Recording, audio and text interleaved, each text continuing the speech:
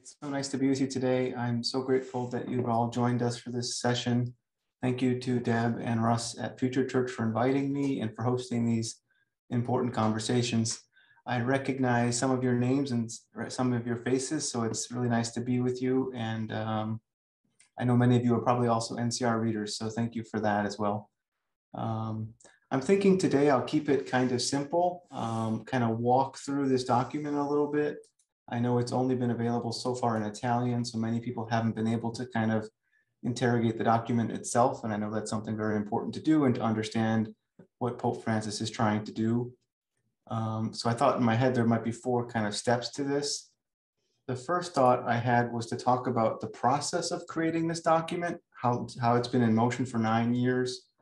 I'd then like to speak about some of the four biggest kind of thematic changes that I see. Uh, and then I'd like to look at some of the mission statements about the departments of the Vatican themselves. And then we'll end with some open questions I have. Um, I really like to keep this kind of dialogical conversational, so I'll keep my remarks maybe to 10 or 15 minutes to leave for plenty of time for people to ask questions or raise up other concerns.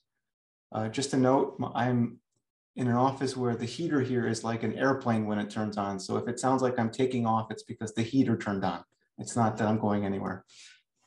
Um, so the first part of this about the origins of the project. Um, I think in order to understand this document that, that, reorganizes the Vatican's bureaucracy for the first time in a really substantial way in about 30 years since Pope John Paul II did his reorganization in 1988.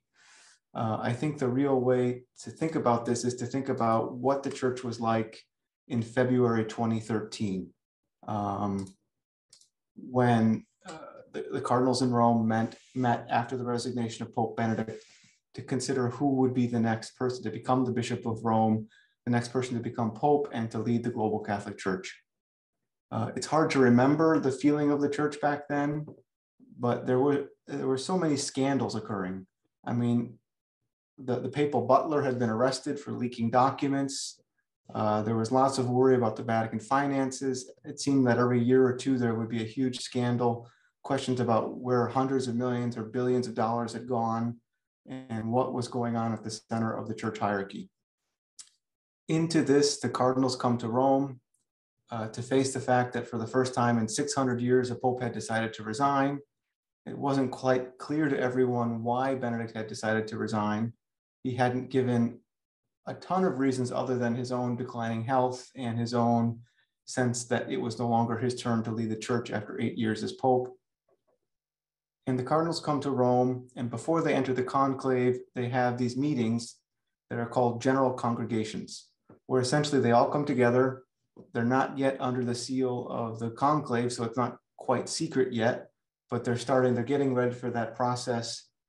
And they're all, there's a, basically a freedom of conversation. They each get different amounts of time to speak in terms of what they're hoping, how they see the church going, what's going on in the moment, what needs to be addressed. And by all accounts, the, the, the person who spoke most movingly and most attracted the most interest almost immediately was this Argentine cardinal, Jorge Mario Bergoglio, who apparently gave, according to accounts related to me and to others by several of the cardinals in the room, gave a very short talk, very focused on evangelization and focused on the church going out. And he said that in this moment in church history, Jesus is standing at the church door, knocking to be let out, to be let out of the church, to be let out back into, to be let back out onto the people and, and with the people and on the streets.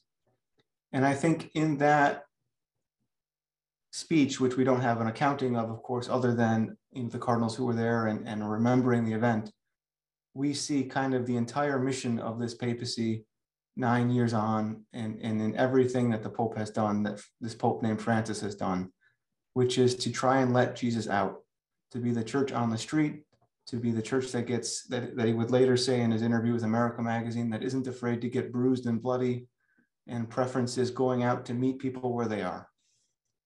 And I think it's important to remember that because as we look at this document, we're, we're thinking about the person who wrote it, the Pope, who is directing this change and what he has in mind. Um, so part of that process then, when Francis is finally elected, one of the first things he does within the first couple of weeks is he appoints a council of cardinals, a group of, at the time, I think it was originally six cardinals who would advise him on reforming the Vatican. It wasn't clear yet what that project would be. I remember at the at the beginning, um, there's a lot of expectation in Rome that they would do it in a month. You know, the cardinals would come to Rome, they'd have a meeting with, with Francis, and you know, within a month or six months, we'd have this new agenda. It was really crazy. The first couple of meetings of the Council of Cardinals, uh, you know, journalists from around the world came in. It was hundreds of journalists coming in thinking this is going to happen quickly. We have to cover it. And of course, that's not how the church works. This Council of Cardinals would go on to meet every two or three months for essentially nine years. They would be working on a draft of a document, which would become an apostolic constitution. Uh, and the first leaks of the document really wouldn't even leak until 2019. So two and a half years ago, uh, when I got my hands on a copy of that document that was circulating among some of the bishops in Rome, and we wrote about it at National Catholic Reporter then, we actually had the help of uh, theologian Rick Gaillardetz, who kind of looked at some of the themes in that document. But that was in 2019.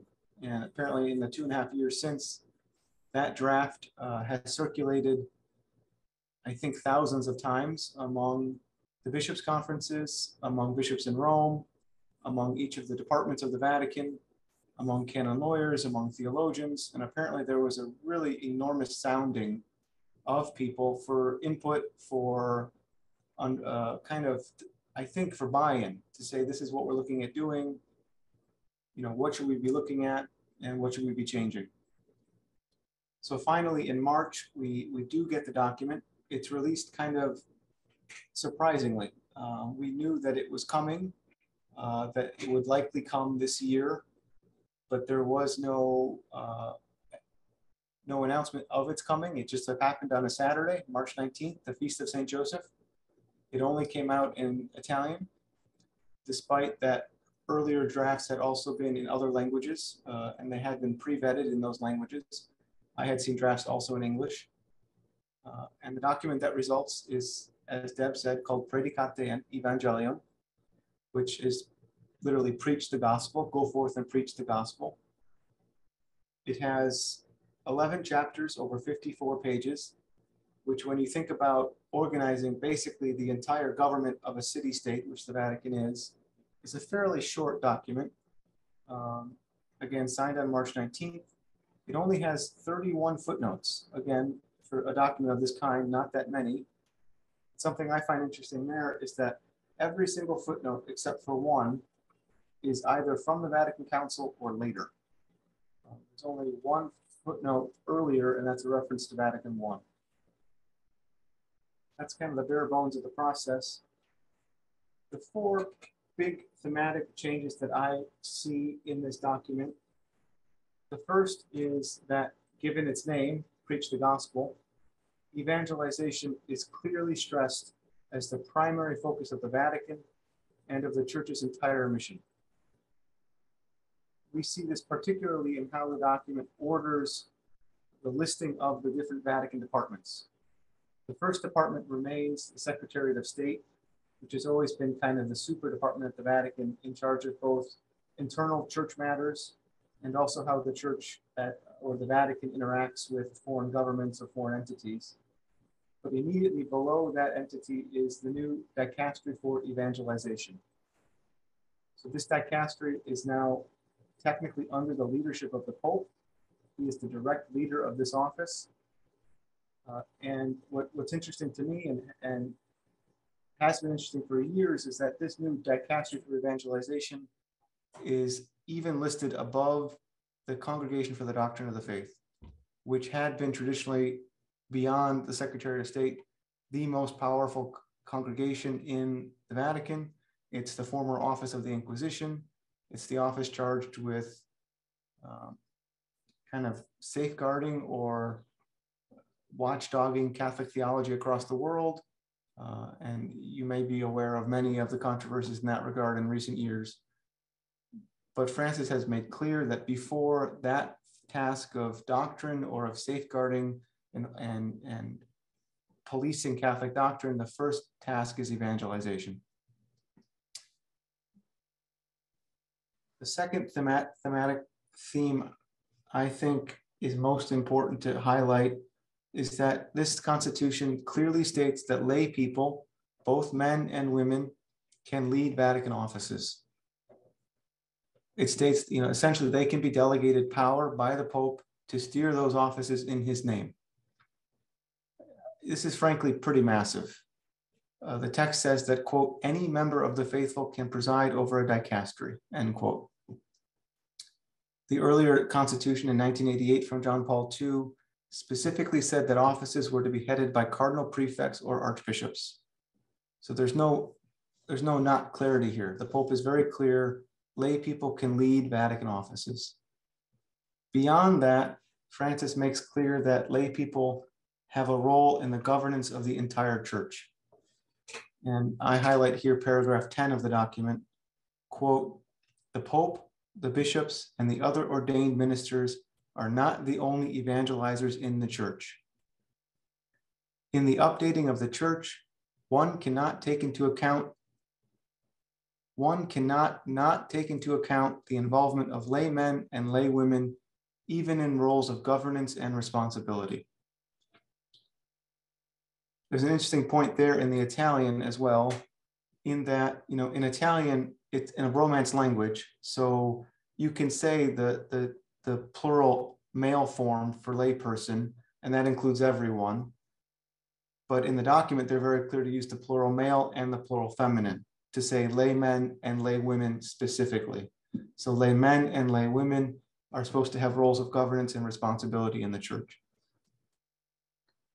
Uh, Jesuit Father Tom Reese, writing in an RNS column shortly after the publication of this document, said of the, the clarification that lay people can lead Vatican dicasteries, he said, quote, this could have monumental impact if truly implemented. Theoretically, the Secretary of State, the highest official after the Pope, could be a laywoman. A woman theologian could be prefect of the dicastery for the doctrine of the faith.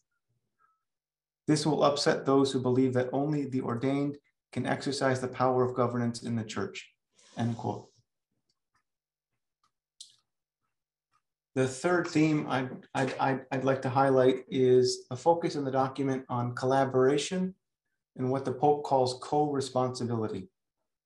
And this is very circular. It's between the Pope and his Vatican officials, between those Vatican officials and local bishops, between bishops and lay people, between lay people and all of those other categories.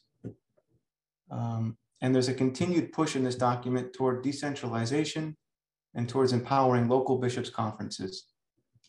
The Constitution says it wants to promote a quote, spirit of healthy decentralization, end quote, to maximize the roles in which local dioceses and conferences can uh, execute their work. It clarifies that all personnel in the Vatican serve first and foremost to quote, further the mission of the Roman pontiff and of the bishops in their respective responsibilities toward the universal church. This service must be animated and carried out with the highest sense of collaboration, co-responsibility, and respect for the competence of others, end quote.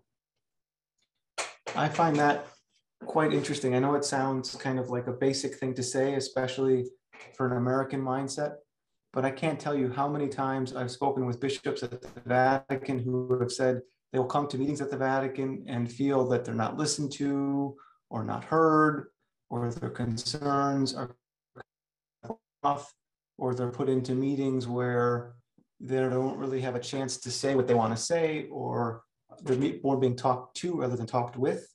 And so I think that there, that that service statement about what what it means to be a Vatican official and to respect the competence of those who come to, into your office actually is quite revolutionary.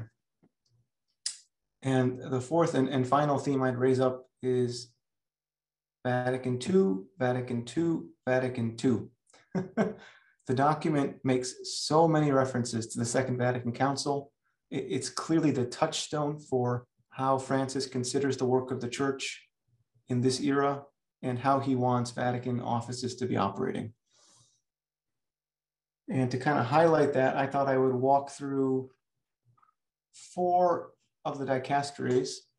Um, and what's interesting to me is that at several points in the document, when the Pope, he, he basically gives an outline for what each office at the Vatican should be doing and how it should work. And before he gets into the nitty gritty on that in all of the dicasteries, there's some sort of summary of the work of the dicastery, almost like a mission statement inside the document for each of the offices. And I found those really enlightening in terms of what the Pope is hoping will result from this change and where things might be going. So for example, in the what had been the Congregation for the Doctrine of the Faith and has now become the, the Dicastery for the Doctrine of the Faith, the Pope writes, quote, the work of this dicastery is to help the Roman pontifex and the bishops in announcing the gospel in all the parts of the world, promoting and caring for the integrity of Catholic doctrine on faith and morals, drawing from the deposit of the faith and looking again at it, always with a deeper intelligence before new questions, end quote. So in that mission statement, we see even in doctrine, there's a focus on evangelization, and there's a focus on understanding new questions emerging in new times and how those might lead to other questions in terms of what our doctrine is saying. And there's a further mission there about the work of the dicastery for the doctrine of the faith with theologians. The, the mission statement says that this dicastery should, quote, favor and support the study and reflection on the understanding of faith and customs and of the development of theology in diverse cultures in the light of doctrine and the challenges of the times. Uh, and that quote, it goes on to say that the dicastery can examine the writings and opinions of those that would appear contrary or dangerous to the faith, but quote, always searching of dialogue with their authors and presenting them suitable rem remedies, end quote. This has been, you know, a key criticism of theologians in the decades since the council, that the congregation for the doctrine of the faith could bring them in for whatever, you know, whatever doctrinal irregularities they might see in their work.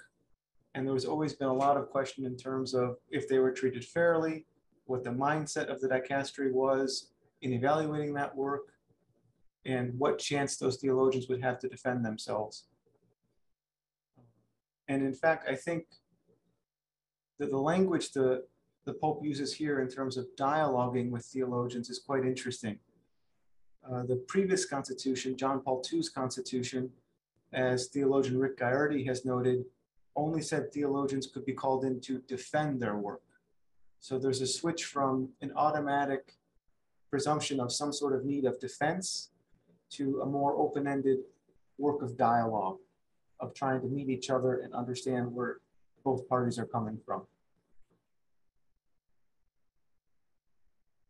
The second dicastery I thought to look at is the dicastery for the divine worship and the discipline of the sacraments.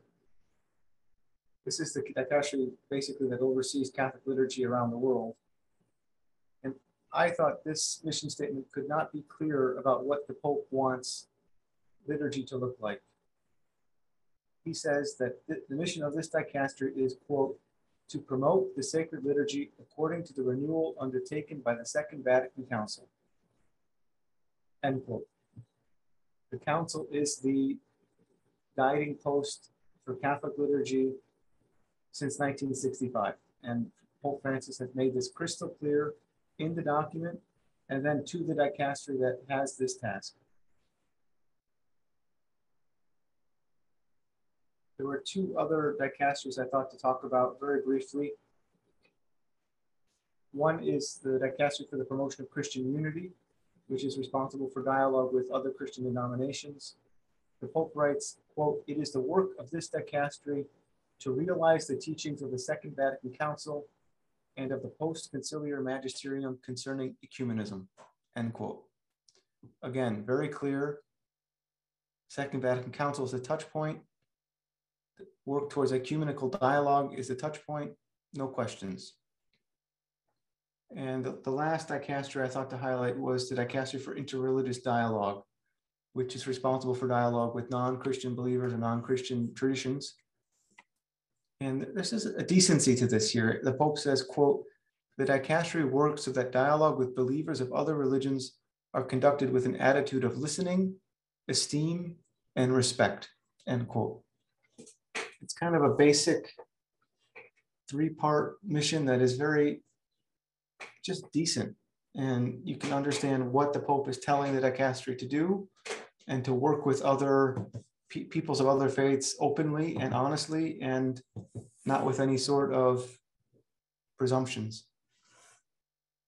So I'll, I'll move to my kind of two open questions and then we can have our discussion. And I'd love to hear your thoughts and questions. Uh, the first major question I have is about the Pontifical Commission for the Protection of Minors, with, with, which Deb mentioned in her opening.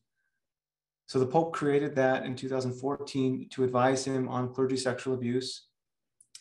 Uh, it had been kind of a, an independent institution with not a clear status in terms of what it was other than an advisory body to the Pope.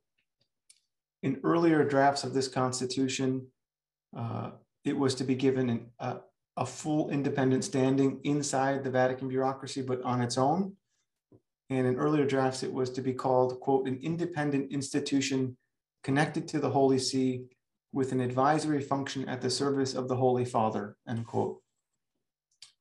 And that's not what happened in this constitution. In this constitution, it is placed inside the dicastery for the doctrine of the faith. It continues to be uh, its own entity but an entity inside the dicastery for the doctrine of the faith. It will be continued to be led by Cardinal Sean O'Malley of Boston, who has praised this move, putting it inside the dicastery, saying it will make the commission, commission a fundamental part of the structure of the church's central government. But however, you know, I think abuse advocates and former members of the commission have questioned, you know, why it, why it has been treated this way. Marie Collins, who is a former member of the commission, an Irish abuse survivor, who resigned in 2017 over frustration uh, about how the commission was or wasn't working with Vatican officials, told me that she considered this the nail in the coffin for the group's credibility. Um, obviously, Marie has her own background in working with the commission uh, and her own opinions. Uh, but there are, I think it's a real question in terms of what, how will the commission work from here? You know, being inside this dicastery, will they be able to speak openly about what they think needs to happen in terms of protecting minors in the church? Or will this lead to more kind of bureaucratic silencing? The answer, I think, is a little open. We have to see how they handle it from here. And my, my other open question is a much bigger one. Um, I think there's a lot of grandiose, even beautiful language about the work of the church at the Vatican the work of the various dicasteries. I wonder kind of if the day-to-day work in these departments will live up to those outlines. You know, the Pope has set a really high barometer, I think, for where he wants kind of attitudes to be. But there's a lot of question to me in terms of the day-to-day, just in our office atmosphere, if that will be how it is, if the officials in those dicasteries will have mechanisms to, to make sure they're meeting those goals. Uh, I think we'll see some of that beginning in June. The new constitution goes into effect on June 5th. Uh, so you go to bed on June 4th as the Congregation for the Doctrine of the Faith, and you wake up as June 5th as the Dicastery for the Doctrine of the Faith. Uh, and I think the other big question here is around June 5th, will we finally see women appointed to lead departments at the Vatican?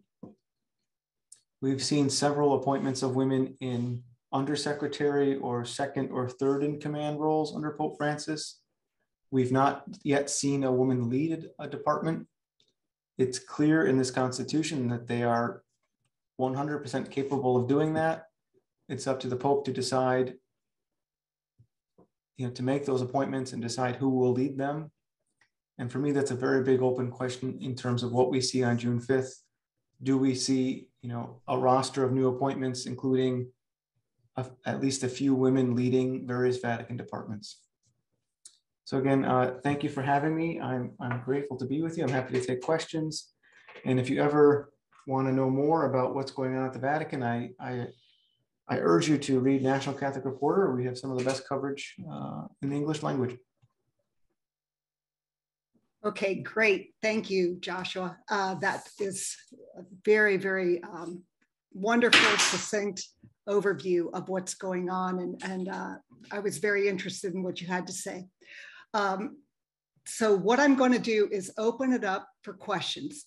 So just so you know, Russ isn't here today. So you either have to hold your hand up or use the little uh, reaction button that's, uh, you know, that you can put your hand up with that.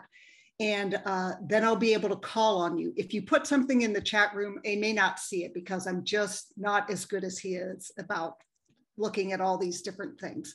So uh, please raise your hand in one way or another and ask your questions.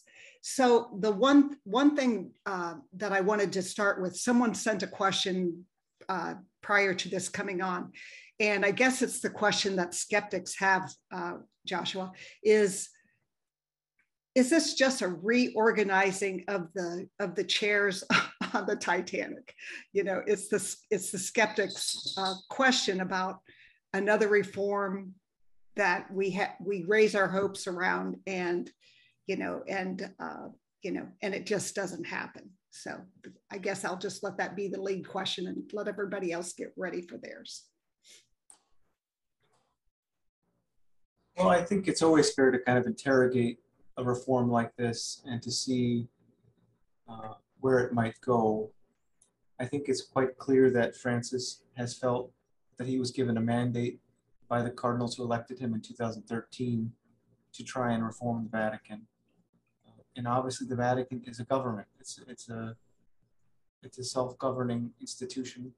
It has to have rules for how it governs itself and how it interacts with with foreign governments and then with you know Catholics around the world. And so Francis has made it quite clear in this document how he wants this institution to be interacting with Catholics, what goals he wants them to be prioritizing and just the priorities for the church in this century. And so I think from here we see how it functions. On June 5th, it goes into law or it goes into effect. Uh, we see what appointments are made to lead these new dicasteries, how those people are putting the reforms in place or not. And then we report on that or we kind of follow up as best we can. Do you um, do you think there's any chance that Francis will put a woman into his evangelization dicastery uh, at the top? Yeah, so that new dicastery for evangelization is technically led by the Pope. It has two sections, one of which basically it merges two previous offices, one of which is currently led by the Filipino Cardinal Luis Antonio Tagle, I don't think anyone expects that to change. He's only been in Rome a couple of years. The other is currently led by an Italian archbishop named Salvatore Fisichella. I don't know. Um, I think it's possible, again, according to the Constitution, it's possible that any office could be led by a woman. I don't know if Francis is thinking that would be one of them, but it's it's made clear in the Constitution that that's possible. Okay, great. Elsie, you have a question. Elsie Romano. I have a couple of questions. Um, first of all, where would we be able to find the document in English? Is it available now? The answer to that question is is not yet officially available in English.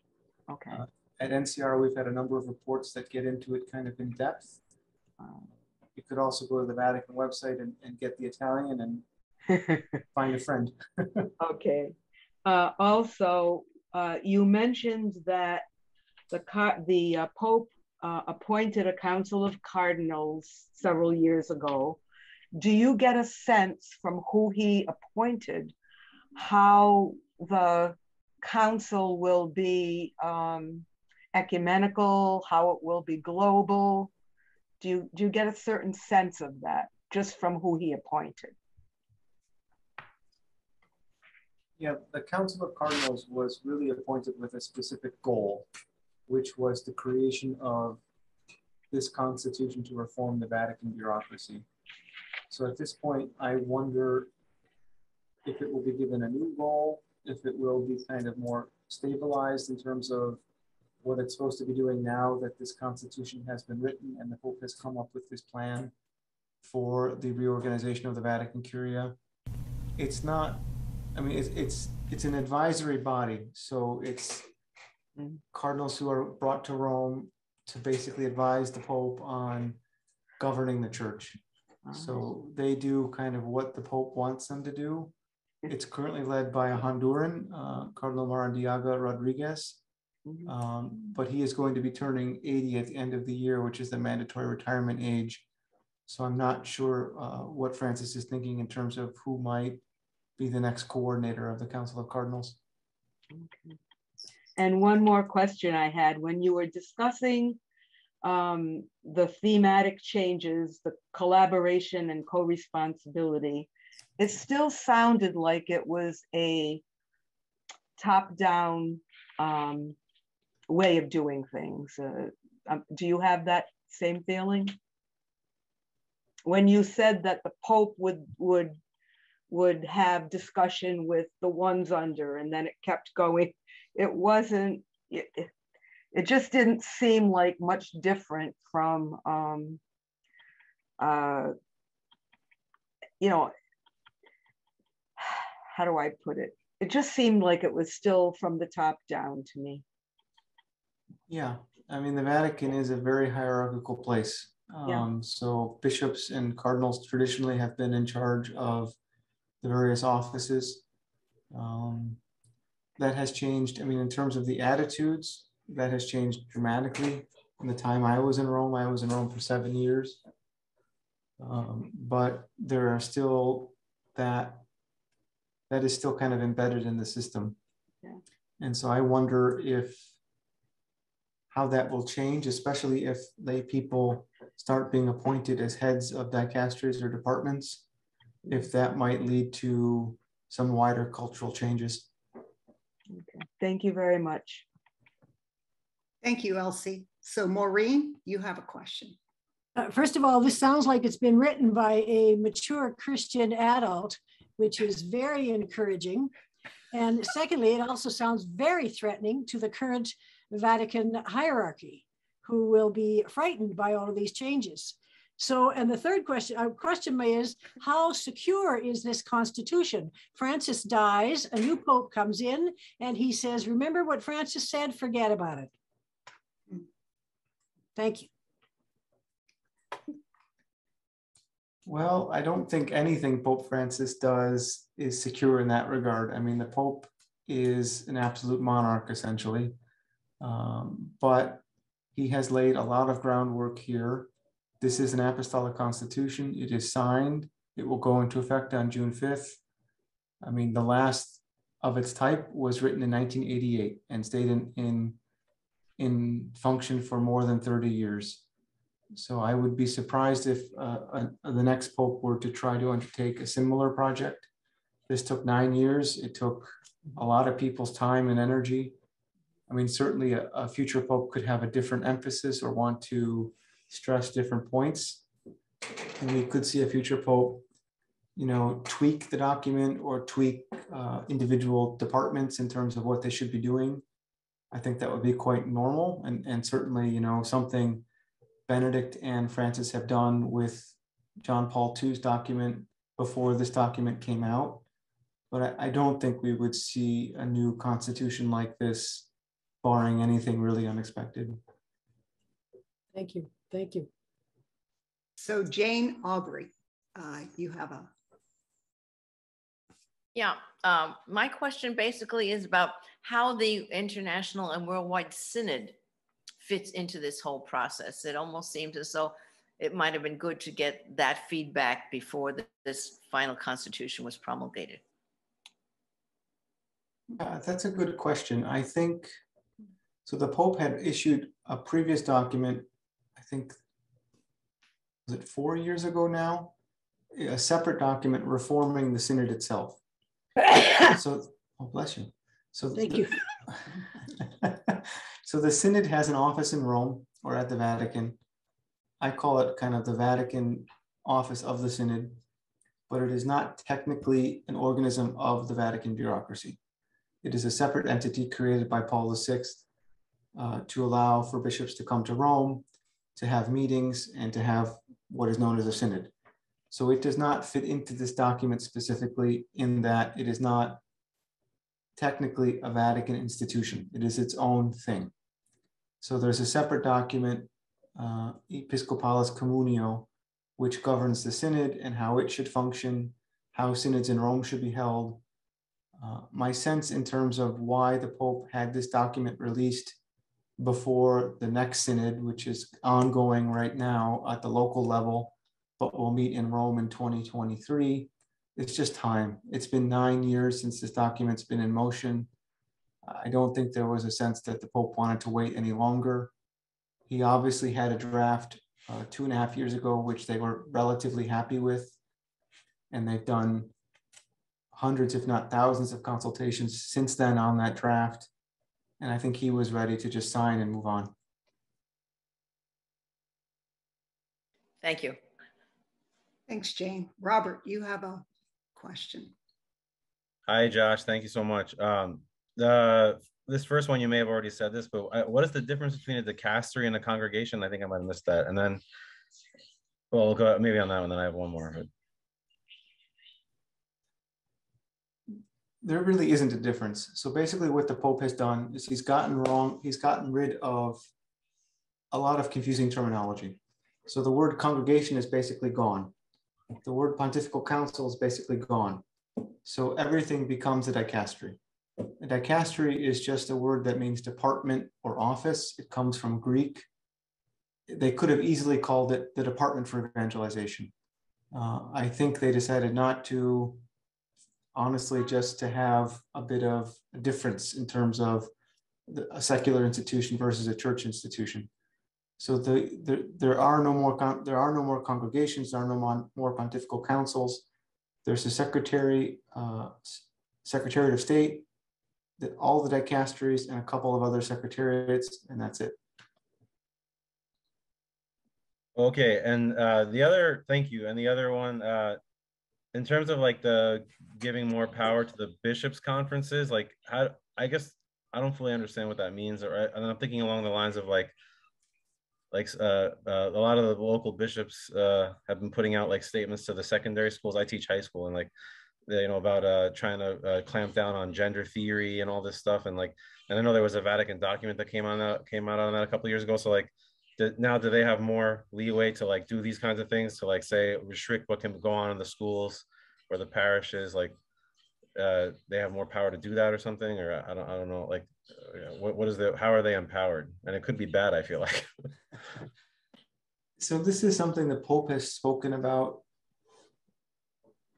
his entire papacy. In the first interview he gave with America Magazine in 2013, he talked about a desire for a healthy decentralization in the church.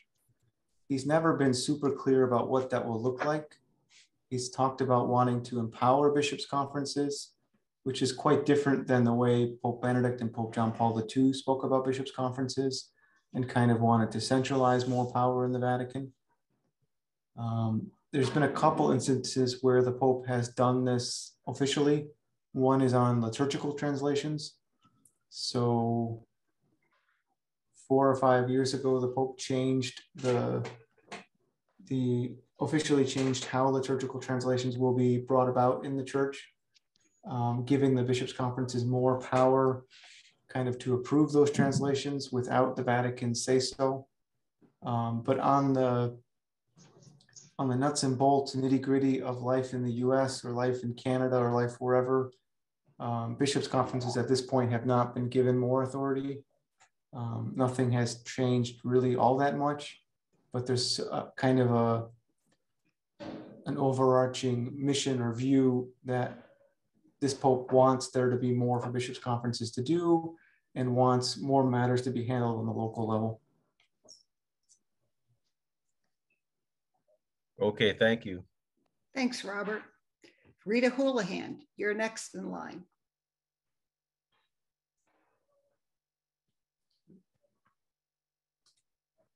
Rita, You'll need to hear unmute. Oh, sorry, sorry. I- I said, I said, thank you, uh, Deb and Josh. It's good to see you again.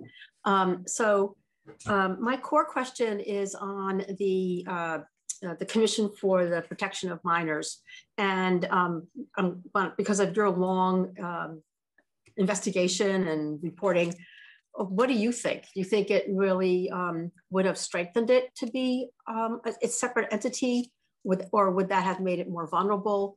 You know, again, are they very dependent then on whoever is the head of the dicastery that is going to be, you know, I guess housed in?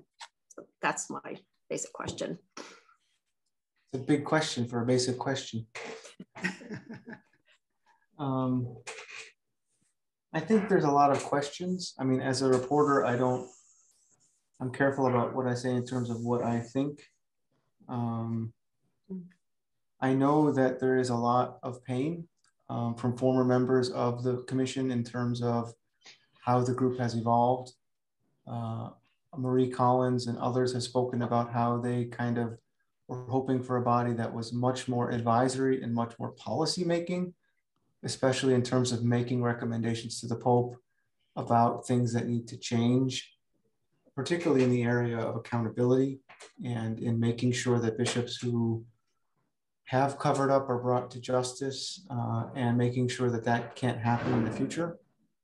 Um, I know that current members of the commission would say a lot of that work is being done, but it's being done kind of quietly and also with respect to kind of Vatican processes. Obviously, Marie Collins and others thought it was taking too long and they felt like they were being stonewalled. Um, the current members would might also talk, point to the work the commission is doing in education, in, in, in kind of working with different institutes all around the world to teach, particularly clerics, what safeguarding looks like, the norms that should be followed, you know, the basic standards in terms of making sure minors and vulnerable persons are safe. But obviously, I think obviously there was a tension that emerged there between you know groups on the commission who wanted a more policy making body dealing with Mm. kind of nuts and bolts uh, issues in terms of how to concretize things that needed to change and other persons on the commission who wanted a body that was more educational or more about safeguarding. Um, and i don't know if that's finished or if one side has won or not but clearly, you know, being inside the Vatican, you know, I think would limit what commission members might be able to say. That being said, one of the newest members of the commission is was appointed by the Pope, uh, Juan Carlos Cruz, who is a Chilean abuse survivor, who no one can say, you know, has any sort of compunction about saying what needs to be said. So I think there's a lot to be seen yet in terms of further reforms of the commission and how it will kind of reinvent itself in this new function or new new schema. Thanks. Thank you. Thanks, Rita.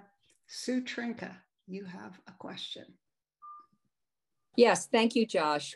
Um, so I have a sort of kind of a two-part question. Uh, one, how do you see this impacting our local parishes, our dioceses or archdioceses? Uh, and do you see that this kind of new vision is uh, strong enough for laymen and women to use in developing um, strategies for use in their parishes in uh, all the areas that the Pope has mentioned. And the second part of my question is, do you see, uh, I, I always kind of look for what might be ahead. I'm, I'm wondering if there's anything in uh, canon law that uh, sort of goes against what this constitution is laying out for us. And can that, because that could be used against it. so uh, thank you for your comments, Josh. Yeah. Well, to your first point about what it means in local parishes or local dioceses, I, I think the biggest thing is the clear statement that men, laymen, and laywomen can lead governing offices in the Vatican and should share co-responsibility in the church. So I think, you know, obviously in the US, we already have quite quite firm examples of lay women serving in dioceses, you know, even as chancellors or as vicars in some instances. In other parts of the world, that isn't so true. Uh, and even in parts of the US where, you know, archbishops might have a different view of the church than a, a more pre-Vatican II view. I mean, the fact is the Pope has said women can lead Vatican dicasteries. And if he puts it in motion and names a woman ahead of a Vatican dicastery, you know, I don't see how a bishop in the US can say he can't appoint a woman a chancellor or he can't appoint a woman to lead, you know, whatever office. Um, that's what the Pope is doing. The Pope has said he, you can clearly do this. In fact, he's saying not only that we can clearly do it, we should do it. There is an obligation to co-responsibility in the church. So I think the kind of the model setting on that regard is not insignificant and could be quite important, not only in the US, but in other parts of the world. In terms of the canon law question, I don't know. I'm not a canon lawyer. I know that this was passed by a lot of canon lawyers. It was passed by the Pontifical Council for Legislative Texts. That's that's their job. Um, and so I, I I don't know. You know, the Pope has signed it. He's putting it into motion. It's it's how it is. I mean, in, in terms of the church, that's how that works. Uh, obviously, there could be some questions to quibble over, and you know, or maybe there might be some some some arguments to be made in terms of why this dicastery, why a word was why a word was phrased this way or that way. But you know, the Pope has made very clear how he feels about doctors of the law, so it's it's quite clear, I think. Thank you, Sue. So we have Bonnie Stang. You have a question there's a lot of good things that that you know are being promoted here, and I think uh, the issue that comes up for me is that uh, trust was so broken between the lay people and the hierarchy. So now when I see these things like the sexual abuse, if if their comments can get through to that dicastery and the uh, openness and the response time wise could make a big difference on restoring some of that trust. The same thing with women being appointed to those lead uh, positions. How long is it going to take? I mean, 50% of our church is women, and yet we've we, in the past we've not had those opportunities. And uh, you know, acting on it in a timely fashion could do a lot again to uh, restore trust and to move things ahead, particularly in evangelism, because up to this point, uh, I think in a lot of uh, parishes, it's been the women who have run the education programs and, and been the ones that reach out. So uh, I'm excited by what I hear, but as I say, a lot will depend upon how fast we can see some of these things be reported. And I, I do understand to a point on the priests uh, and with the, uh, the cover up and a lot of those things that they have been working quietly. But sometimes it would be helpful for, for the laity to know that it is being worked on, maybe not specifically, but it's being worked on and uh, that they're not trying to hide it, it that it's moving forward. Uh, it's, it's, it's, it's time that collegiality and uh, communications from the bottom up are being acted on from Vatican II. And that's what I see in what's coming out here now is trying to restore those communications. thanks for your comment. I'm not sure there's much for me to add. I, I understand what you're saying in terms of the, the, the break of trust.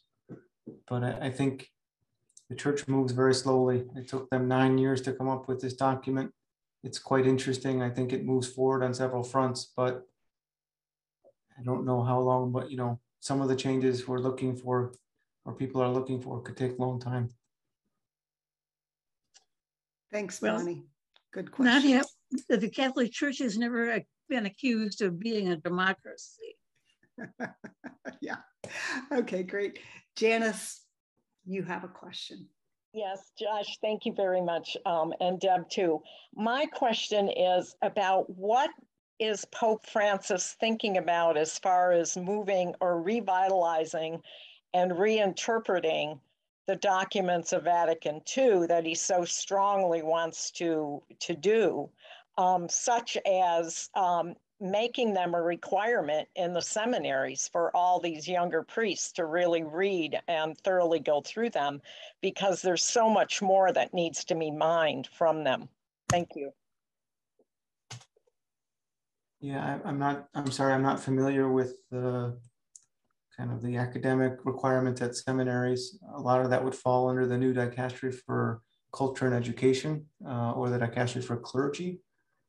Uh, I, I, think a lot of that is dealt with on the local level.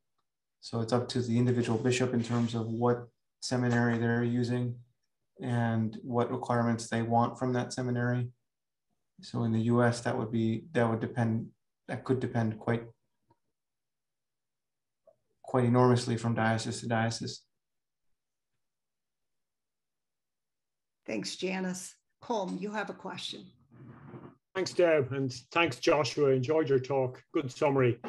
Um, I'm I'm one of the skeptics. Um, I'm not at all happy with, with what's happening. I definitely see it as the deck chairs on the Titanic. After nine years, hey, and this is all you can come up with.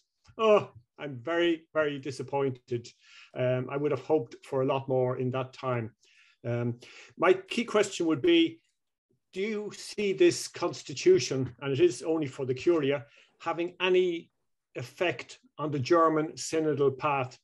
Because for me at the moment, the German synodal path is the best show in town regarding bringing about change and reform top down. Uh, I, have long given up on that, and I, am now focusing at uh, uh, trying to get to the inverted pyramid by being the church, being the church we want to see, and working from the grassroots.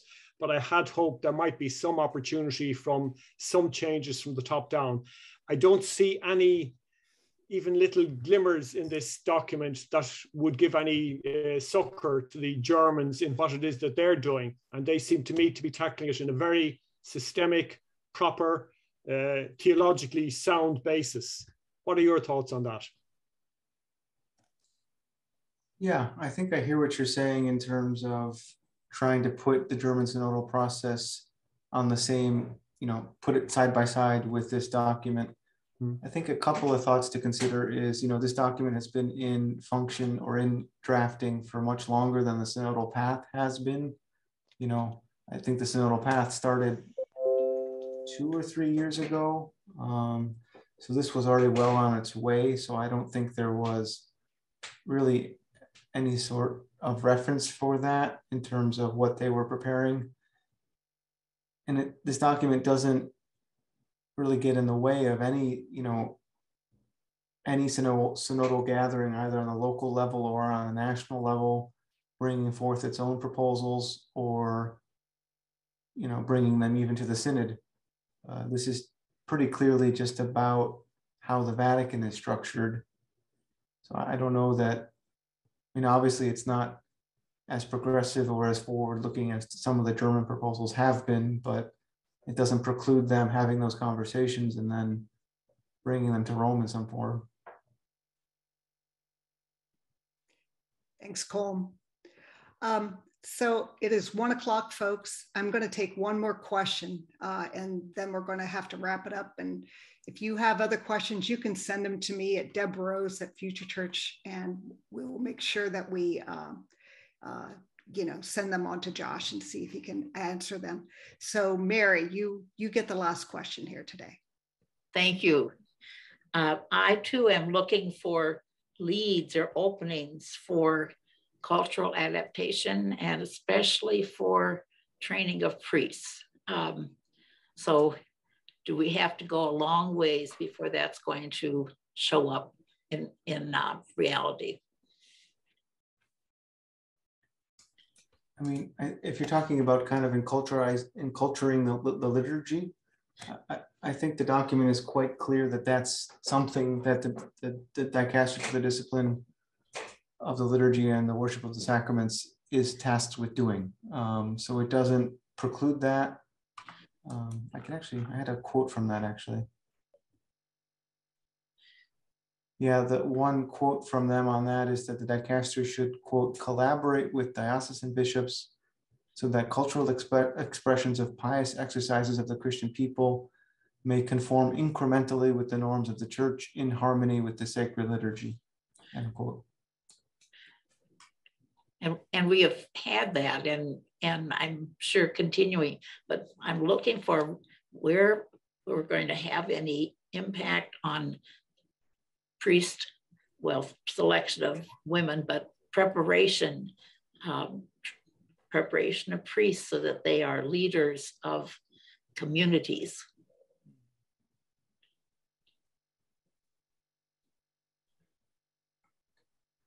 And not just functionaries. You're using Pope Francis language there. That is something he has said that he does not want priests to be functionaries. So I think a lot of that again will be at the local level in terms of how bishops are, what candidates for priesthood bishops are looking to and possibly ordaining, how they're being trained at seminaries, and how they're being taught to approach, um, you know, lay people and these questions of enculturalization. Thank you, Mary.